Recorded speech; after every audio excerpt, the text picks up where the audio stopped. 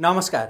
आदरणीय दर्शकवृन्द आजको प्रेसको यो अर्को एउटा भिडियो संवादमा यहाँहरूलाई धेरै स्वागत छ म रोहित भण्डारी दर्शकवृन्द देशमा फेरि सरकार परिवर्तनको हल्ला सुरु भएको छ। राष्ट्रिय स्वतन्त्र पार्टी सरकारबाट बाहिरिँदैछ भनेर राष्ट्रिय स्वतन्त्र पार्टीकै केही नेताहरूले राजीनामा पत्र मन्त्रीहरूले खल्तीमा बोकेर हिँडेको भनेर भनिसकेपछि यो आशंका गरिएको छ। अनि नेकपा एमालेका अध्यक्ष केपी शर्मा ओली सरकारका काम कारबाहीप्रति सन्तुष्ट हुनुहुन्न भनेर उहाँकै अभिव्यक्तिले भनिरहेको छ। कि उहाँले केही दिन अगाडि नेकपा एमाले संसदीय दलको बैठकमा नै भन्नुभयो कि विकासका लागि भनेर सरकारमा गएको तर त्यही नभएपछि कसरी सन्तुष्ट हुनु? अब यस्तो अवस्थामा होला चाहिँ के? सत्तारूढ दलका नेताहरूका फरक फरक अभिव्यक्ति जो विशेष गरी सरकारका काम कारवाहीप्रतिको असन्तुष्टिसहितका अभिव्यक्ति। यसले के सङ्केत गरिरहेको छ र के हुँदैछ देशमा? संसद भवनभित्रका गतिविधिहरू सांसदहरूका अभिव्यक्तिहरू सुन्ने हो भनेदेखि त्यहाँ सांसदहरू यति आक्रोशित रूपमा प्रस्तुत भइरहेका छन् कि सरकारको नेतृत्व गरिरहेको दल माओवादी केन्द्रकै सांसदहरू बजेट मन्त्रीहरूले आफ्नो क्षेत्रमा मात्रै हाले हामीलाई व्यवस्था गरे भनेर त्यहाँ चर्को स्वरमा बोलिरहेका छन्। विपक्षी दलका नेताहरूका कुरा गर्ने हो भने त राष्ट्रिय प्रजातन्त्र पार्टीका अध्यक्ष राजेन्द्र लिङ्गदेनले त्यहाँ एउटा पुस्तिका नै रोस्टममा नै गएर च्यातिदिनु भयो। नेपाली काङ्ग्रेसका सांसद रामरी खतिवडाले बजेट यो सरकारलाई नै पुगेन बरु मेरा तर्फबाट ल पाँच रुपियाँ भनेर उहाँले संसदको रोस्टममा नै त्यो पाँच रुपियाँ देखाउनु भयो। यिनी यस्ता थुप्रै दृश्यहरू देखिरहेका छन्। वास्तवमा यो हो चाहिँ के के हुँदैछ? यही विषयको सेरोफेरमा केन्द्रित रहेर हामी कुराकानी गर्दैछौँ। यसका लागि यति बेला हामीसँग स्टुडियोमा हुनुहुन्छ विश्लेषक डाक्टर उद्धव सिगदल। उहाँलाई म स्वागत गर्छु। स्वागत छ धन्यवाद रोहितजी। आजको प्रेसका सम्पूर्ण दर्शकहरूलाई मेरो हार्दिक नमन। आराम हुनुहुन्छ? ठिक छ। अहिले फेरि सरकार परिवर्तनको हल्ला सुरु भएको छ। यो हल्ला चाहिँ कसरी सुरु भयो भने राष्ट्रिय स्वतन्त्र पार्टीका तर्फबाट मन्त्री हुनुभएका विराज भक्त श्रेष्ठले खल्तीमा राजीनामा पत्र बोकेर हिँडेका छौँ है हामी भनेर उहाँले त्यो भन्नुभयो। अनि एमाले अध्यक्ष केपी शर्मा ओली विकास गर्न भनेर सरकारमा गएको अब त्यही नभएपछि कसरी सन्तुष्ट हुनु भनेर उहाँले त्यो भन्नुभयो। र यसलाई आधार मानेर चाहिँ मान्छेहरू के भनिरहेछन् भनेदेखि अब सरकार फेरि परिवर्तन हुने हो। तपाईँलाई त्यस्तो लागिरहेछ? सरकार परिवर्तनको सङ्घारमा पुग्यो हो फेरि? होइन अब सरकार परिवर्तन हुन्छ हुँदैन त्यो एउटा पाटो आयो। आज पुष्पकमलजी हुनुहुन्छ सायद उहाँकै नेतृत्वमा चाहिँ फेरि अर्को काँध थाप्ने आउने होला। उहाँलाई काँध थाप्ने उहाँलाई काँध थाप्ने उहाँलाई काँध थाप्ने आउने होला। अर्को चाहिँ काँध थापिरहेकाहरूलाई केही कुरा चाहिँ त्यहाँ लेनदेन मिलेन अनि निस्किने होला। त्योभन्दा बेसी चाहिँ अरू केही पनि होइन। मूल कुरा के हो भन्दाखेरि यो जुन डेमोक्रेसी हो त्यो डेमोक्रेसीले फङ्सनिङ गर्न सकेन। मूल कुरा के हो भन्दाखेरि जुन प्रणाली हामीले अप्नाएका छौँ त्यो प्रणालीले काम गर्न सकेन। र मूल कुरो के हो भन्दाखेरि जुन ज्ञान प्रणालीका आधारमा जुन चाहिँ सैद्धान्तिक भावभोगका भावका आधारमा हामीले चाहिँ जुन शासन सत्ता सञ्चालन गरिरहेका छौँ यसले काम गर्न नसकेको हो। त्यसकारण चाहिँ संसद संसदको रूपमा छैन तपाईँको न्यायपालिका न्यायपालिका रूपमा छैन सुरक्षा अङ्ग सुरक्षा अङ्गका रूपमा छैनन् सरकार सरकारको रूपमा छैन भनेपछि चाहिँ के छ त? केही पनि छैन। त्यसले गर्दाखेरि हामीले हेर्ने भनेको यस्तै भाड भैलो हो। त्यसपछि गएर पब्लिक कन्जम्सनको लागि चाहिँ कुनै एउटा चाहिँ नेताले अथवा कुनै एउटा मन्त्रीले चाहिँ म खल्तीमा राजीनामा हिँडेको छु भनेर चाहिँ एक खालको चाहिँ प्रोपोगन्डा मचाउँछ अनि अर्कोले चाहिँ के भन्छ भने मैले काँध थाप्दाखेरि अलिक गाह्रो भयो बरु काँध नथापेकै ठिक छ भनेर चाहिँ अर्को सहयात्रीले भनिरहेको हुन्छ। पुष्प कमलजी यिनीहरू सबैलाई खेलाइरहनुहुन्छ र चाहिँ उहाँले प्रधानमन्त्री हुने हो त्यो कन्टिन्यू उहाँ हुनुहुन्छ। त्यसले प्रचण्ड चाहिँ प्रधानमन्त्री भइ नै रहनुहुन्छ। उहाँ जस्तो यति बेला मलाई काँध थापेकाहरूको काँध गल्यो होला त्यो आफ्नो ठाउँमा छ। तर फेरि काँध थाप्नका लागि तम तयार अवस्थामा अर्को छ। धेरै छन्। त्यो अहिलेको प्रतिपक्ष पनि छ र लगायत चाहिँ प्रतिपक्षमा भएका अरू घटकहरू पनि काँध थाप्न लागि तयार छन् किनभने अहिलेसम्ममा चाहिँ अरूले काँध थापेर खाए अब हाम्रो पालो हो भन्नेतिर मात्रै छ। त्यसले गर्दाखेरि यो नेपालमा चाहिँ यो राजनीतिक चाहिँ जुन उठापटकहरू यो छन् नि यो राजनीतिक उठापटकहरू चाहिँ किन भइरहेछ कसरी भइरहेछ भन्ने कुरा खुद राजनीति गर्नेहरूलाई नै थाहा छैन।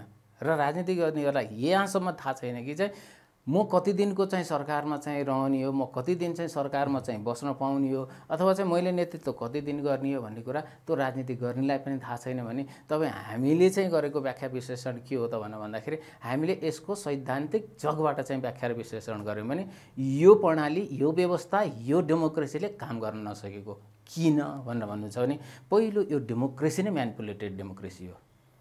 इन्डियामा देखियो नि त। म्यानिपुलेसन कसरी हुँदो रहेछ डेमोक्रेसीमा भन्ने कुरा अलरेडी चाहिँ तपाईँको चाहिँ परिणाम निर्धारण गरेर चुनावमा जाने। हामी कहाँ भएको पनि त्यही नै हो। काङ्ग्रेसको यति एमालेको यति माओवादीको यति अरू खिजामिजाको यति भनेर पहिले परिणाम डिक्लेयर गरेर चाहिँ चुनावमा जाने चाहिँ यो डेमोक्रेसीले चाहिँ आम पिपुलको भावनालाई प्रतिबिम्बित गर्न सक्दैन। त्यही भएर त हामीले संसदमा दृश्य देख्यौँ नि त। त्यो संसदमा म यहाँसँग जस्तो अर्को अन्तर्वार्तामा अब यो व्यवस्थाले नै राम्रोसँग काम गर्न सकेन भनेर यहाँले भन्दै गर्दा अब विकल्प के के हुन सक्ला भनेर अर्को अन्तर्वार्तामा म विस्तृतमा कुरा गर्छु। यहाँसँग आजको यो अङ्कमा चाहिँ अहिले संसदमा जुन प्रकारका दृश्य देखिए नि जस्तो राजेन्द्र लिङ्गदनले त्यहाँ मञ्चमा गएर त्यो बजेट पत्र नै? पुस्तिका निच्यात दिनुभयो होइन?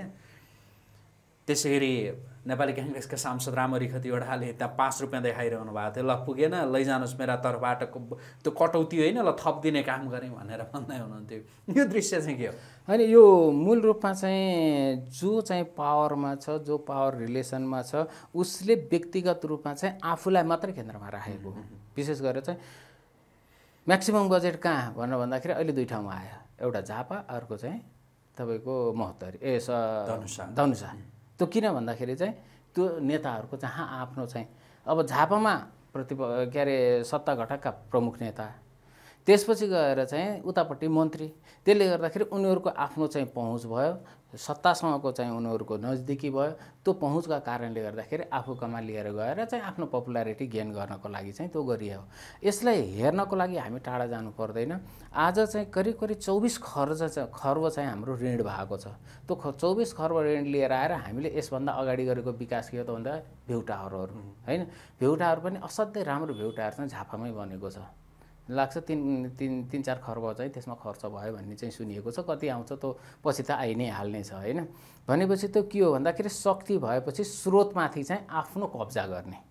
त्यो कब्जा गर्ने क्रम अन्तर्गत चाहिँ जो शक्तिमान छ उसले चाहिँ स्रोतमाथि कब्जा गरे। त्यो चाहिँ शक्ति नभएकाहरूले चाहिँ संसदमा चाहिँ त्यो खालको चाहिँ परिदृश्य चाहिँ देखाइरहेको हो। किनभने शक्ति भएको भए उनले पनि त्यही नै गर्ने थिए। राजेन्द्र। लिङ्गदेन जस्तो ज्ञानेन्द्र साई रामरी खतिवडा या ज जसले त्यहाँ चर्को स्वरमा बोले उनीहरू मन्त्रीका ठाउँमा भएको भए उनीहरूले उनीहरूले गर्ने पनि यही नै हो। किनभने यो लामो परम्परा हो यो। शक्ति भएकाले स्रोतमाथि चाहिँ कब्जा गर्ने र आफ्नो चाहिँ नागरिकलाई चाहिँ रिजाउने र त्यसबाट चाहिँ आफू सधैँभरि चाहिँ नेता भइरहने। जुन एउटा प्रवृत्ति हो त्यो प्रवृत्ति अन्तर्गत चाहिँ यो भएका हुन्। यो कुनै चाहिँ अहिले मात्रै नयाँ भएको हो भनेर चाहिँ अहिले जुन चर्को स्वर संसदमा हामीले देख्छौँ यसभन्दा अगाडिका बजेटहरूलाई हेर्नुहोस् कहाँ वर्षी चाहिँ विनियोजन भएको छ कुन शीर्ष नेता नेताको क्षेत्रमा चाहिँ विनियोजन भएको छ उसको जिल्लामा विनियोजन भएको छ भन्ने कुरा त्यहीँबाट प्रष्ट हुन्छ। नेताहरूका अभिव्यक्ति सुन्दाखेरि नै सांसदहरूका अभिव्यक्ति सुन्दा मन्त्रीहरूका अभिव्यक्ति सुन्दाखेरि यो अहिले तत्कालै सरकार त्यो परिवर्तन फेरबदलको सम्भावना देख्नुहुन्छ या त्यो काँध हुन्छ नि कसले थाप्ने के गर्ने भन्ने त्यो तत्कालै या अलिक केही समयपछि के देखिरहनु अहिले तत्कालको लागि चाहिँ मैले त्यस्तो स्थिति चाहिँ देखेको छैन किनभने यो सरकार चाहिँ को जुन जग हो नि नेतृत्वको जग मैले भनेको छैन। यी नेतृत्वहरू त कति बेला पनि। सरकारको जग। चाहिँ अलिक बलियो छ। किनभने अलिकति प्याराडामिक सिफ्ट भएर आएको चाहिँ यो सरकार हो। अनि रासपाका मन्त्रीको त्यो अभिव्यक्ति के हो त? राजीनामा पत्र खल्तीमा छौँ। मिति मात्रै लेख्न बाँकी हो अरू सबै रासपा रासपाका मन्त्रीहरूलाई दबाब आएको छ। कताबाट कस्तो प्रकार त्यो दबाब? भनेको विशेष गरेर डेमोक्रेटिक कम्युनिटीबाट आएको छ। डेमोक्रेटिक कम्युनिटीले चाहिँ तिमीहरू चाहिँ कम्युनिस्टको काँध थापेर बस्ने नि तिमीहरू निस्केर चाहिँ एउटा डेमोक्रेटिक एलायन्स बनाउनु पर्छ भनेर डेमोक्रेटिक कम्युनिटीले उनीहरूलाई प्रेसर दिँदै गर्दाखेरिमा चाहिँ उनीहरूले चाहिँ राजीनामा चाहिँ रविहरूलाई हालेर रविहरूलाई सरकार छाड्न दबाब छ। एक्ज्याक्टली सरकार छाड्नलाई दबाब छ उनीहरूलाई। तर अब रविजीलाई चाहिँ समस्या के छ भन्दाखेरि सरकार छाड्ने अनि फेरि चाहिँ कहीँ जानुपर्ने हो कि? उहाँलाई फेरि त्यो दबाब पनि छ नि किनभने दसवटा चाहिँ कुराले घेरिएको हुनुहुन्छ उहाँ त। कहिले चाहिँ सहकारीको भनिया छ कहिले के को भनिया छ। अनि त्यसले गर्दाखेरि उहाँलाई त्यो खालको चाहिँ सङ्कट छ। त्यसले गर्दाखेरि त्यो सङ्कट देखाउँदै चाहिँ अहिलेसम्म चाहिँ सरकारमा बसिरहेको स्थिति हो। अन्यथा चाहिँ डेमोक्रेटिक चाहिँ कम्युनिटीले चाहिँ अब डेमोक्रेटिक प्रोसेसहरूको एउटा छुट्टै सरकार बनाउनुपर्छ भनेर घ- भरमग्दुर उसले प्रयत्न गरिरहेको छ। तर नेपालको यो सरकार मैले यहाँलाई अघि नै चाहिँ निवेदन गरेँ कि बलियै जगमा छ है। त्यो बलियो जगमा भएको कारणले गर्दाखेरि त्यो डन्डा लगाउनेले चाहिँ तलमाथि गर कि भनेर चाहिँ डन्डा चाहिँ उसले लगाइरहेको छ। इभन प्रतिपक्षकोले चाहिँ विकास हेरेर यो सबभन्दा चाहिँ त्यो विकास भन्ने शब्दको हुर्मत काडाउनु भनेर भन्छु कि म। किनभने यो राजनीतिले यो नेतृत्वले विकास गर्छ भनेर चाहिँ अब हामीले चाहिँ त्यो परिकल्पना पनि गर्न सकिँदैन। त्यस कारण चाहिँ उहाँले त्यो विकास भनेको के हो भन्दाखेरि चाहिँ लेनदेनमा चाहिँ डन्डा त हामीले खाइरहेका छौँ होइन? लेनदेनमा पनि चाहिँ कमजोर भयो भने त गाह्रो हुन्छ त्यस कारण लेनदेन चाहिँ अलिकति चाहियो भनेर चाहिँ त्यो एउटा विकास भन्ने शब्दलाई चाहिँ हुर्मत सरकार बलियो हो। जगमा छ भन्नुभयो। त्यो बलियो जगका आधार चाहिँ के हुनु होइन बलियो जगका आधार भनेको विदेशी हो। ए विदेशी हुन्। प्रष्ट विदेशी हो त्यो। यो सरकार हिजोको जुन नेपालमा चाहिँ इन्डो वेस्टको चाहिँ जुन डिजाइनबाट सरकार बन्थ्यो त्योभन्दा फरक पृष्ठभूमिको यो सरकार हो। कुन नेतृत्व होइन यो सरकार भनेको विशेष गरी छिमेकीहरूको सरकार हो। यो छिमेकीको सरकार हो। भारत चीन एक्ज्याक्टली उनीहरूको चाहनाको सरकार हो? एक्ज्याक्टली उनीहरूकै हो। दुई छिमेकीकै चाहनाको कि या एउटा छिमेकी दुई या- पुरै मनले त होइन तर दुइटै छिमेकीको चाहनाले चाहिँ यो सरकार बनेको पुरै मन चाहिँ कसको त? यो पुरै मन त सकेसम्म चाहिँ उत्तरी छिमेकीको हो नि। कम्युनिस्टहरूलाई एक ठाउँमा राखेर डन्डा लगाउनुपर्छ। धेरै भयो अब कम्युनिस्ट नाम चाहिँ बदनाम भयो भन्ने हिसाबले चाहिँ उसले डन्डा लगाउनु त स्वाभाविकै हो नि। उत्तरी छिमेकीको कुरा गर्दै गर्दा नि जस्तो अर्को एउटा समाचार पनि बाहिरिएको थियो पूर्व राष्ट्रपति विद्यादेवी भण्डारी उत्तरी छिमेकी देशको भ्रमणमा भनेर फेरि त्यो तत्कालका लागि स्थगित भयो के भन्ने कुरा पनि आइरहेको छ। उत्तरी छिमेकी यहाँको आन्तरिक राजनीतिमा एकदमै क्रियाशील हुन लागेको हो सक्रिय क्रियाशील होइन भइसक्यो। भइ नै सक्यो। भइ नै सक्यो। अब त्यसो हो भने नि विद्यादेवी भण्डारीलाई सक्रिय राजनीतिमा ल्याउन खोजिँदैछ भनेर भनिन्छ। कतिपयले आइ नै सक्नुभयो भनेर पनि भन्छन् होइन? उहाँ मार्फत के हुँदैछ त त्यसो भए? होइन उहाँ उहाँले केही तरङ्गहरू छोड्नुभयो। एउटा चिन भ्रमणको तरङ्ग पनि छोड्नुभयो। दोस्रो चाहिँ उहाँले छोडेको चाहिँ पार्टी सबै सदस्यता चाहिँ नवीकरण भयो वैशाखदेखि नै भन्ने चाहिँ आयो। तर त्यसलाई चाहिँ आज फेरि हिजो मात्रै हो के अरे? नेकपा एमाले खण्डन गरेको छ। उहाँ हाम्रो अभिभावक हो। उहाँले चाहिँ पार्टी सबै सदस्यता चाहिँ लिनु भएको छैन नवीकरण गर्नु भएको छैन भनेर चाहिँ त्यो खण्डन गर्यो। मलाई लाग्छ त्यो एउटा तरङ्ग चाहिँ आम पिपुलहरूमा लिएर आयो कि त्यसको रियाक्सन कस्तो आउँछ भनेर चाहिँ। त्यो रियाक्सन चाहिँ कस्तो आयो भने भन्दाखेरि मिश्रित रूपमा आएको छ। कसैले भन्छ कि चाहिँ होइन विद्या भण्डारी चाहिँ सक्रिय राजनीतिमा आउनुपर्छ भन्छ भने कसैले चाहिँ सक्रिय राजनीतिमा चाहिँ आउनु हुँदैन भनेर भनिएको छ। र यो चाहिँ के हो भन्दाखेरि विशेष गरेर कम्युनिस्ट पार्टीलाई एक गराउनको लागि कुनै न कुनै हदसम्म केपी ओलीजी बाधक भएकोले चाहिँ विद्या भण्डारी आउँदै गर्दाखेरिमा चाहिँ भोलि माओवादी लगायत साना कम्युनिस्ट पार्टीहरू सबै भएर एउटा चाहिँ कम्युनिस्ट केन्द्रको चाहिँ निर्माण हुने चाहिँ त्यो एउटा प्रयास हुने र त्यसमा चाहिँ कुनै न कुनै रूपमा चाहिँ उत्तरी छिमेकीको चाहिँ इन्ट्रेस्ट पनि चाहिँ हुने भएको कारणले गर्दाखेरि त्यसलाई एउटा चाहिँ प्रक्षेप प्रक्षेपणको रूपमा चाहिँ त्यसलाई हेरिएको थियो। कस्तो खालको चाहिँ प्रतिक्रिया आउँछ भनेर हेरिएको थियो। प्रतिक्रिया चाहिँ सामान्य नै आएको स्थिति छ।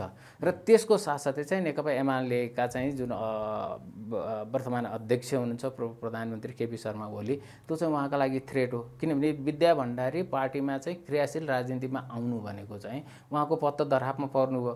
त्यसले गर्दाखेरि अहिले जस्तो एमालेमा मात्रै नभएर योभन्दा अगाडि जुन नेकपा थियो होइन माओवादी एमाले लगायतको सबैको त्यो अभिभावक बन्ने गरी अध्यक्ष बन्ने गरी अझ सिधा भन्दाखेरि आउँदै हुनुहुन्छ भन्ने जुन बजार हल्ला हो नि।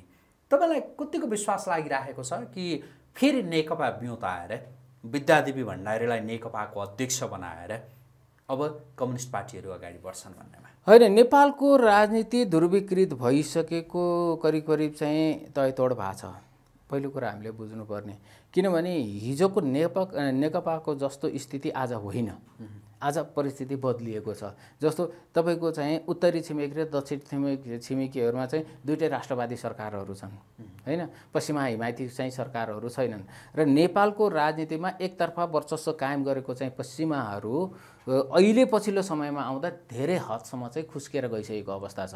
त्यसले गर्दाखेरि छिमेकीहरूले जे निर्णय गर्छन् त्यो नै सर्वोपरि हुने भएको कारणले गर्दाखेरि मलाई लाग्छ छिमेकीहरूले नेपालको राजनीतिलाई पोलराइज गर्न खोजेको चाहिँ पक्कै पनि हुनुपर्छ। उत्तरी छिमेकीले वामहरूलाई पोलराइज गर्नको लागि चाहिँ एउटा चाहिँ इच्छा जाहेर गरेको हुनुपर्दछ भने दक्षिणी छिमेकीले चाहिँ डेमोक्रेटिक फोर्सेसहरू चाहिँ एक ठाउँमा बसुन् भन्ने खालको चाहिँ त्यो एउटा चाहना चाहिँ पक्कै पनि हुनसक्छ।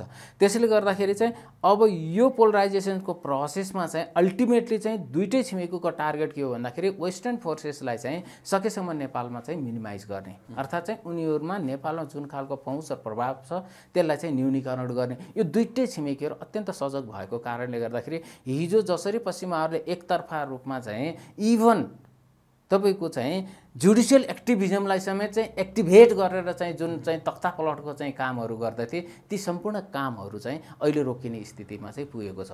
त्यो भएको कारणले गर्दाखेरि मलाई लाग्छ यो सरकार को सहयात्री परिवर्तन हुन सक्लान्। त्यो मात्रै के हो भन्दाखेरि विद्या भण्डारीको चिन भ्रमण र चाहिँ पार्टीमा चाहिँ नआउने चाहिँ जुन अहिले भएको कारणले गर्दाखेरि सरकारलाई कुनै अप्ठ्यारो छैन होइन भने केपी ओलीजी पुरै नेकपा एमाले सहित फेरि पश्चिमा किताका चाहिँ शक्तिहरूसँग चाहिँ मिलन गर्ने चाहिँ स्थिति भएको कारणले गर्दाखेरि मलाई लाग्छ विद्या भण्डारीका चाहिँ जुन कदम हुन् एउटा पार्टीमा चाहिँ क्रियाशील हुने कदम र अर्को चाहिँ चिन भ्रमणको चाहिँ जुन कदम हो त्यो डेट चाहिँ अहिले स्थगित भएको जस्तो चाहिँ देखिन्छ। यसले गर्दाखेरि यो सरकार चाहिँ कन्टिन्यू अगाडि जान्छ। सरकारले यही सरकारले नै निरन्तरता पाउँछ भनेर यहाँले भनिरहँदा जो बजार हल्लाका विषयमा हामीले अघि कुरा गरिहाल्यौँ। अब यही सरकारलाई निरन्तरता दिनकै लागि नै होला होइन? जस्तो अहिले सिके राउतलाई उप प्रधानमन्त्री सहित परराष्ट्र मन्त्रीको जिम्मेवारी दिने भन्ने कुरा आइरहेछ भन्ने पनि त्यो बजार हल्ला छ। र सिके राउत आफैले स्वीकार्नु भएको छ कि? मलाई रवि छाने मार्फत गृहमन्त्री मार्फत त्यो प्रस्ताव आएको थियो। प्रधानमन्त्रीले पनि एक ढङ्गले भन्नुभयो ल परराष्ट्र मन्त्रीको जिम्मेवारी तपाईँ लिनुहोस् भनेर। सिके राउतलाई नि परराष्ट्र मन्त्रीको जिम्मेवारी उहाँलाई दिँदै गर्दा त नारायण काजी श्रेष्ठ त आउट हुनु पर्यो। त्यो अवस्थामा यति बेला फेरि अर्को के चर्चा छ भने नेकपा माओवादी केन्द्रभित्र त्यो असन्तुष्टि बढिरहेको छ। अरू कारणले जस्तो जनार्दन शर्माले कतिपयले त अब जस्तो केही ठुला मिडियाहरूले अब माओवादी केन्द्र फुट्दैछ भनेर पनि रिपोर्टहरू बनाइरहेछन् होइन आइरहेछ नारायण काजी श्रेष्ठलाई हटाएर सिके राउतलाई उहाँको ठाउँमा लगिन्छ होला भन्नेमा तपाईँ कतिको विश्वस्त हुनुहुन्छ? मलाई त्यो के हो भन्दाखेरि यो जुन भू राजनीतिक दबाब हुन्छ नि त्यो भू राजनीतिक दबाबले गर्दाखेरि चाहिँ सरकारै परिवर्तन गर्न नसकेको अवस्थामा चाहिँ त्यो भू राजनीतिमा प्रभाव पार्ने चाहिँ जुन अन्तर्राष्ट्रिय शक्ति केन्द्रहरू हुन् तिनले चाहिँ आफ्नो मान्छेलाई कुनै न कुनै रूपमा चाहिँ छिराउने हुन्छ। पुष्कल दाल प्रचण्ड आफ्नै कुर्सी जान्छ नि परराष्ट्र मन्त्री होइन के हो नथिङ केही पनि होइन। त्यसमा परराष्ट्र मन्त्रीलाई कति बेला पनि चाहिँ उहाँलाई चाहिँ अर्को कुनै खालको चाहिँ जिम्मेवारी चाहिँ दिएर अनि त्यहाँनिर चाहिँ सिके राउतहरू जस्ताहरूलाई ल्याउनको लागि चाहिँ कुनै पनि आपत्ति हुने किनभने पुष्पकमल प्रचण्डजीलाई पनि एउटा कुरा के राम्रो हेक्का छ भनेर भन्दाखेरि चाहिँ एकहोरो हामी चाहिँ वेस्टर्नभन्दा फरक ढङ्गबाट हिँड्यौँ भने वेस्टर्नले चाहिँ कुनै किसिमको चाहिँ एक्टिभिजम थ्रु चाहिँ हामीलाई फालिदिन सक्छ भन्ने कुरा उहाँलाई राम्रो हेक्का छ। किनभने भारतमा चाहिँ नरेन्द्र मोदीहरू जस्तोलाई चाहिँ साइजमा ल्याउन सक्ने चाहिँ पश्चिमाहरूले नेपालमा त जहाँ जसरी पनि खेल्न सक्ने भयो नि त त्यसले गर्दाखेरि उहाँले पश्चिमाहरूको चाहिँ जुन जो चाहना हो सिके राउतलाई लिएर आउने त्यो चाहना अन्तर्गत चाहिँ पुष्पकमल दाहाल प्रचण्ड चाहिँ एकदम खुसीका खुसी खुसीका साथ चाहिँ सिके राउतलाई बनाउनलाई नारायण गाजीलाई बलिदिनलाई उहाँलाई कुनै पनि ठुलो कुरा होइन। किनभने उहाँले नारायण गाजी भनेको के पर्सनालिटी हो र जबकि चाहिँ मोहन वैद्यको अगाडि होइन? त्यो लगायतका चाहिँ धेरै नेताहरूलाई चाहिँ उहाँले सबैलाई किन दरकिनार लगाएर इभन बाबुराम भट्टराईलाई पनि एक हिसाबले भन्यो भने उनी पार्टी छोडे तापनि चाहिँ बस्नु नसक्ने स्थिति बनाए त हो नि। भनेपछि चाहिँ नारायण काजी श्रेष्ठ भनेको चाहिँ केही पनि होइन नि पुष्पकमल लाल प्रचण्डको प्रधानमन्त्रीको कुर्सीको अगाडि चाहिँ त्यो परराष्ट्र मन्त्री केही पनि होइन। सिके राउतलाई नारायण काजी श्रेष्ठलाई हटाएर यो कारणले लैजानुहुन्छ होइन? एक्ज्याक्टली मूल कारणै त्यही हो किनभने पश्चिमाहरूलाई ब्यालेन्स गर्नुपर्ने छ। र त्यसो भए अहिले पश्चिमाहरू तपाईँले अहिले जे भन्नुभयो नि के भन्न खोजिरह रहनु भएको थियो मैले रोकेँ। जस्तो यति बेला नि तपाईँले भनेअनुसार पश्चिमाहरूले परराष्ट्र मन्त्रीका रूपमा सिके राउतलाई किन चाहिरहेछन् त? नारायण काजी श्रेष्ठलाई हटाएर उहाँलाई भनेर। यदि त्यो हो भनेदेखि पश्चिमाहरूले चाहेको त प्रष्ट छ कि काङ्ग्रेसबाट चाहिँ युवा पङ्क्तिकालाई चाहिँ प्रधानमन्त्री बनाउने त्यसमा चाहिँ एमाले लगायतका चाहिँ अथवा हुन्छ डेमोक्रेटिक फोर्सेस नै पुरै लिएर आउने। हुँदैन भने चाहिँ एमाले लगायतकालाई चाहिँ लिएर आएर भए पनि नयाँ सरकार बनाउने त पश्चिमा आएको छ हाना छँदैछ। किनभने गगन थापा त्यसै चाहिँ शेरबहादुर देउबाका चाहिँ विरुद्धमा चाहिँ संसदीय दलमा चुनाव लडेका होइनन्। त्यो एउटा प्रोजेक्टेड हो त्यो प्रिडिक्टेड हो। त्यो भएको कारणले गर्दाखेरि चाहिँ सिके राउत त गगन थापा प्राइम मिनिस्टर हुन्थ्यो नि त परराष्ट्र मन्त्री सिके राउत त भइ नै हाल्थ्यो त्यति बेलै। तर अब प्रधानमन्त्री बनाउन सकिएन भने चाहिँ बनाउने के त? परराष्ट्र मन्त्री भयो नि बनाउने नि। त्यसको लागि त पुष्पकमल दाहाल प्रचण्ड त तयार हुनुहुन्छ नि। इभन केपी ओलीजी पनि तयार हुनुहुन्छ। किनभने एकहोरो चाहिँ त्यो चुटाइ खानुभन्दा बरु होइन? किनभने अहिले त एक खालको ब्लेम त लागेको छ नि। विशेष गरेर चाहिँ छिमेकीहरूको सरकार भन्ने खालको चाहिँ जुन ब्लेम लागेको छ त्यो ब्लेमलाई चाहिँ उहाँले चाहिँ यसले खेल्यो उसले खेल्यो भन्दा हुँदैन हामीले खेल्यौँ भनेर चाहिँ भनेर चाहिँ जुन संसदमा उहाँ बोल्नु भएको थियो नि त्यो बोल्दै गर्दाखेरि ती अभिव्यक्तिबाट नि प्रश्न छ कि भित्रको उहाँहरूलाई कति दबाब आएको छ। हो त्यो दबाबलाई केही हदसम्म सिके राउतलाई लिएर आएर रेसिस्ट गर्न सकिन्छ भने गर्ने भन्ने कुरामा चाहिँ पुष्पमल दाहाल र केपी शर्मा ओली चाहिँ राजी हुनुहुन्छ। अब बाँकी चाहिँ यसो बाहिर पब्लिकका लागि चाहिँ ए सरकार चाहिँ हल लिँदैछ ढल्दैछ भन्ने खालको चाहिँ त्यो एउटा प्रोपोगन्डा नमचाइकन त किनभने उहाँहरूले डेलिभरी गर्नु छैन। होइन पिपललाई कुनै पनि किसिमको सेवा सुविधा दिनु छैन। भनेपछि प्रोपोगन्डा गरेर चाहिँ राजनीति मात्रै गर्नु छ उहाँलाई। भनेपछि त्यो प्रोपोगन्डाको लागि एक दुईवटा मुद्दाहरू चाहिँ त्यो फाल्ने क्रम चाहिँ सुरु भएको हुन्छ। भने अब बाँकी राप्रपाहरूको त्यो ज्ञानेन्द्र शाहीको युनिहरू भनेको चाहिँ मलाई लाग्छ त्यो एउटा चाहिँ सत्ता चाहिँ प्राप्त नहुँदै गर्दाखेरिका चाहिँ ती अभिव्यक्ति मात्रै हुन्। त्योभन्दा अरू बेसी त्यसको चाहिँ तात्विक चाहिँ अर्थ छैन। जस्तो नारायण काजी श्रेष्ठ आउट भएर मन्त्री परिषदमा सिके राउत इन हुनुभयो भने त्यसले माओवादी केन्द्रभित्र चाहिँ कुनै प्रकारको असर गर्न सकि सक्छ कि सक्दैन होइन माओवादी केन्द्र सच पार्टीको रूपमा चाहिँ त त्यो पार्टी नै अब रहेन। किनभने त्यहाँ नेता। हर नेता छ पार्टी चाहिँ छैन त्यहाँ। त्यसमा पुष्पमल दाहाल प्रचण्ड भनेको चाहिँ नेकपा माओवादी केन्द्र सकिए तापनि उहाँ नेता भइरहनुहुन्छ उहाँ प्राइम मिनिस्टर हुनुहुन्छ। किनभने यो सम्पूर्ण चाहिँ जुन आजको व्यवस्था प्रणालीको आर्किटेक्ट डिजाइनर भनेको उहाँ नै हो। यसलाई इम्प्लिमेन्टेसन गर्ने पात्र पनि उहाँ नै हो। त्यसले गर्दाखेरि माओवादी सकिए पनि पुष्पकमल दाहाल सकिनुहुन्न। उहाँको लेजिटिमेसी र वैधताले गर्दाखेरि चाहिँ भोलि उहाँले दुई सिट लिएर आउनु भने पनि प्राइम मिनिस्टर उहाँ नै हो। अरू भनेको उहाँलाई चाहिँ सहयोग गर्ने हो।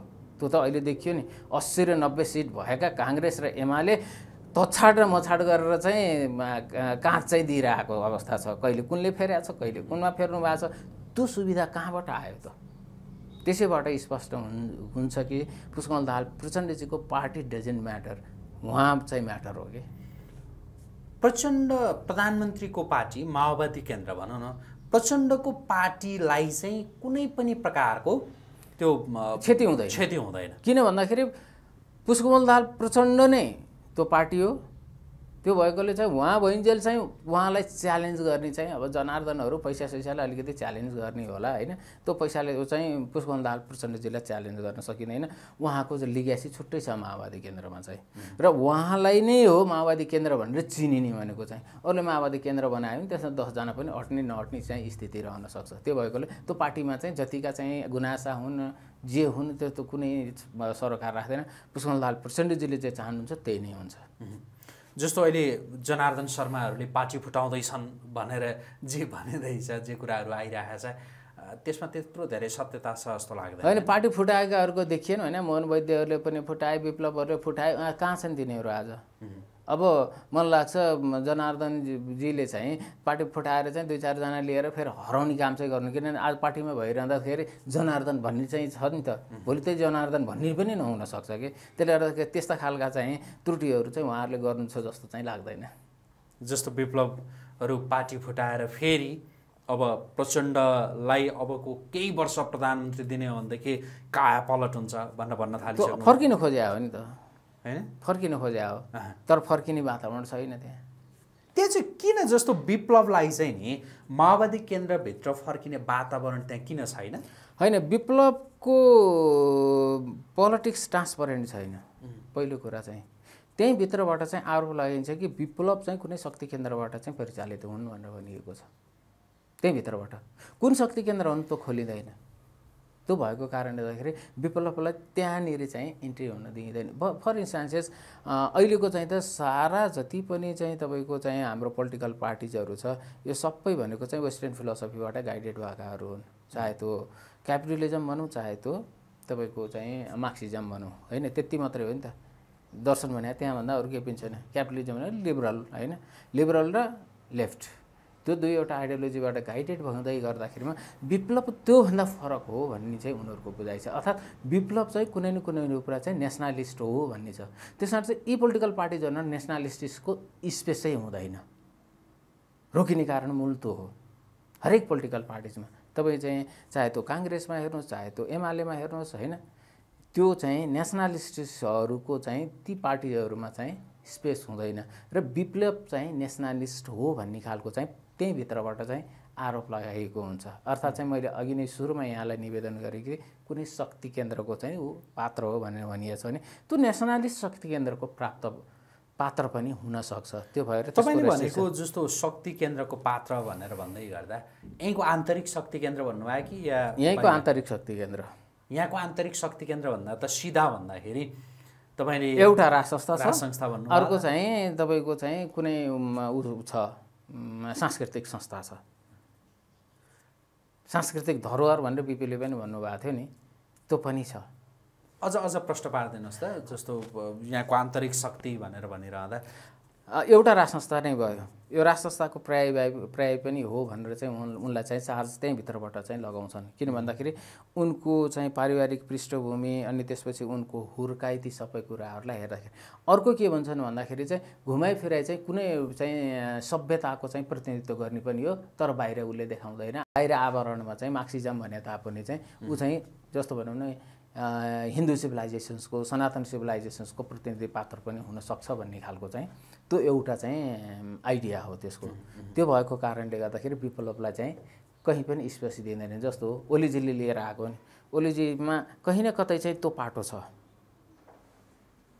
त्यो नेसनलिस्टको जुन पाटो हो ओलीजीमा छ। त्यो ओलीजीले सहज रूपमा चाहिँ विप्लवसँग चाहिँ सहकार्य गर्न सक्नुभयो। तर पुष्पल दाल प्रचण्डजीको त्यो पार्टीभित्र चाहिँ अधिकांश सेकुलारिस्टहरू भएको ठाउँमा चाहिँ उनी चाहिँ अट्न पनि सक्दैनन् र उनलाई त्यहाँभित्र प्रवेश पनि दिइँदैन अब हामी कुराकानीको अन्त्यतिर छौँ। अहिले राष्ट्रिय स्वतन्त्र पार्टी सरकारमा गएको कति जो पछिल्लो समयमा तिन महिना सबै मन्त्रीहरूको पुग्यो क्यारे होइन? तिन महिना। सय दिन जो उहाँहरूले व्यतीत गरिसक्नुभयो होइन? सय सय दिन व्यतीत गर्नुभयो। राष्ट्रिय स्वतन्त्र पार्टीका मन्त्रीहरूको कार्य सम्पादनलाई हेर्दाखेरि चाहिँ नि तपाईँलाई कस्तो लागिरहेको छ? यो पार्टीको भविष्य कस्तो देखिरहनु भएको छ? भोलिका दिनमा उहाँहरू त जो मिसन चौरासी मिसन चौरासी भन्दै यो चुनाव सकिएको एक वर्ष पनि नपुग्दै लाग्नु भएको नेताहरू हो होइन? कस्तो देखिरहनु भएको छ उहाँहरूको? कार्य सम्पादनको हिसाबले चाहिँ त्यस्तो कन्ट्रोभर्सियल चाहिँ अवस्थामा चाहिँ कुनै पनि नेताहरू आएको छैन। किनभने हामीले फेयरली जज गर्नुपर्ने हुन्छ कसैप्रति पनि आग्रह र पूर्वाग्रह राख्नु हुँदैन। जसले राम्रो काम गर्छ राम्रो काम गरेकोलाई चाहे त्यो जुनसुकै बाहनामा होस्। राम्रो काम नै भन्नुपर्ने हुन्छ। जस्तो रविज गृहमन्त्री भइसकेपछि चाहिँ केही प्रयासहरू उहाँले गर्नुभयो। तर माओवादी र एमालेलाई राख्दै गर्दाखेरिमा चाहिँ उहाँले ज त्यो सरकारमा उहाँ रहँदै गर्दाखेरि उहाँले जति प्रयास गर्नुभएको त्यो क्षमताभन्दा बेसी प्रयास हुन्छु म चाहिँ रविजीको चाहिँ। किनभने यिनीहरूले त ब्लकै गर्ने हुन् नि त। पहिला यसो केही गर्नु खोज्नु भएको थियो पहिला फालिदिइहाल्यो के के चार्ज लगाए चुनावै लड्नुपर्ने स्थितिमा पुऱ्याए त्यो त सकाएको हो नि त। फेरि चाहिँ उठेर आएको रविजी भएको कारणले गर्दाखेरि अब पनि फालियो भने फेरि यसले चाहिँ हाम्रो जमिनै सक्छ भन्ने चाहिँ त्यो एउटा डरले उनलाई चाहिँ रोक्दै काम गर्दै जाँदाखेरिमा पनि रविजीको चाहिँ आफ्नो पर्फर्मेन्सको बारेमा चाहिँ त्यति धेरै प्रश्न उठाउने ठाउँ छैन। उनले काम नगरे तापनि चाहिँ स्पेस चाहिँ प्रशस्त मात्रामा दिए। कि यहाँ यहाँ यहाँ यहाँ यहाँ त्रुटि छ भनेर चाहिँ आम पिपुलमा चाहिँ मानौँ। कैलाश सिरोया जस्ताका चाहिँ कर्तुतहरू पनि बाहिर निकाल्नको लागि चाहिँ उनी सफल भए। जबकि कैलाश सिरोया भनेको चाहिँ यति ठुलो साम्राज्य उनले चलाइरहेको थियो कि चोलेन्द्र शमशेषले त चाहिँ कान्तिपुरले नै चाहिँ प्रधान न्यायाधीश नियुक्त गरे हुन्छ भन्नेसम्मको चाहिँ कुराहरू गर्दै थिए। भनेपछि चाहिँ उनको सम्पूर्णतिर चाहिँ पहुँच प्रभाव थियो। होइन त्यो पहुँच र प्रभावलाई चाहिँ एक हिसाबले न्यूनीकरण गर्ने जुन प्रयत्न गरे त्यसबाट चाहिँ पक्कै पनि रविले चाहिँ खुट्टा टेकेको नै हो भनेर चाहिँ बुझ्नुपर्ने हुन्छ। भने अर्को चाहिँ के हो भन्दाखेरि चाहिँ सहकारीको बारेमा त्यो छानबिन हुन्थ्यो तर जब संसदीय समितिमा लिएर गइयो त्यो नगर्नका लागि हो। किनभने सहकारीमा यदि रविजीलाई चाहिँ खुला रूपमा चाहिँ आफैले चाहिँ उनले चाहिँ सरकारी चाहिँ जुन इन्भेस्टिगेटिङ एजेन्सिजहरू छन् तिनलाई परिचालन गर्न दिएको भएदेखि चाहिँ सहकारीको चाहिँ धेरै समस्या समाधान भइसक्थ्यो। त्यो समस्याका चाहिँ मूल पात्रहरू भनेका चाहिँ मूल रूपमा अहिले सरकारमै रहेका चाहिँ जुन दलहरू छन् उनकै भएको कारणले गर्दाखेरि त्यसलाई छानबिन समिति भनेर चाहिँ संसदीयतिर लैजाने बित्तिकै संसदीय छानबिन समिति भनेको त्यहाँ भएका सम्पूर्ण कुराहरूको ढाकछोप गर्नको लागि हो। किनभने त्यो इतिहासले चाहिँ हिजोका नजिरहरूले त्यो कुरालाई चाहिँ पुष्टि गरिरहेको छ। त्यसले गर्दाखेरि रविजीको पर्फर्मेन्समा प्रश्न छैन। ठिक ढङ्गबाट चाहिँ उहाँ हिँड्ने प्रयत्न गर्नुभएको। यस्तो परिस्थितिमा र यस्तो परिणाम नदिने तपाईँको संरचनामा पनि। बाँकी रह्यो उहाँका मन्त्रीहरूले पनि समहाउ स्टन्टिङ गर्दा गर्दै पनि चाहिँ पिपुलको सेन्टिमेन्टसँग चाहिँ खेल्दै गर्दाखेरिमा चाहिँ केही सकारात्मक कामहरू भएका छन्। जस्तो सुमना श्रेष्ठ शिक्षा मन्त्री हुँदै गर्दाखेरिमा चाहिँ विश्वविद्यालयमा चाहिँ यो दलीय रूपमा चाहिँ जुन भागभन्डा भइरहेको थियो त्यसलाई चाहिँ त कम्ती भने कम्पिटिसनबाट लिएर आउनुपर्छ भनेर चाहिँ कम्पिटिसनबाट लिएर आएर कम्ती भने दलीय भागभन्डाको अन्त्य गर्ने काम त गरिएको छ नि। जसले गर्दाखेरि त्यसले चाह्यो भने पर्फर्मेन्स गर्न सक्छ। अब त्यो चाहिँ आएका प्रतिनिधि आएका पदाधिकारीहरूले कसरी काम गर्छन् त्यो हेर्न पर्ने बाँकी छ। त्यो एउटा चाहिँ सकारात्मक पाटो हो भने बाँकी अन्य अरू मन्त्रीहरूले चाहिँ विराज भक्तको बारेमा त्यस्तो किसिमको चाहिँ प्रश्न उठिरहेको छैन र डिपी अर्यालको बारेमा पनि चाहिँ त्यस्तो प्रश्न नउठ्दै गरेको अवस्थामा चाहिँ रासोपाका मन्त्रीहरूको बारेमा त्यति धेरै प्रश्न उठाउने चाहिँ ठाउँ छैन। बाँकी रह्यो अरूहरूको हकमा चाहिँ त अब प्रश्नहरू चाहिँ कति उठ्या छन् उठ्या छैनन् त्यो चाहिँ यहाँहरूले पनि अब्जर्भ गर्नुभएको छ। त्यतातिर चाहिँ हामीले खासै मूल्याङ्कन गर्नुपर्ने जस्तो छैन। किनभने तिस वर्षदेखि हामीले मूल्याङ्कन गरिरहेकै हो। हुन्छ आजको लागि कुराकानी यति गरौँ। समय दिनुभयो धेरै धन्यवाद। हस् यहाँले चाहिँ जुन यो एउटा चाहिँ अवसर दिनुभयो यसका लागि चाहिँ यहाँलाई धेरै धेरै धन्यवाद। हस्। आदरणीय दर्शकवृन्द हामी कुराकानी गरिरहेका थियौँ। विश्लेषक डाक्टर उद्धव सिक्दलसँग उहाँसँगको यो कुराकानीसँगै आजको प्रेसको भिडियो संवाद अहिलेका लागि यहीँ सकिन्छ। पल पलको अपडेट ताजा बहस र विश्लेषणात्मक टिप्पणीका लागि आजको प्रेस हेर्दै गर्नुहोला। नमस्कार।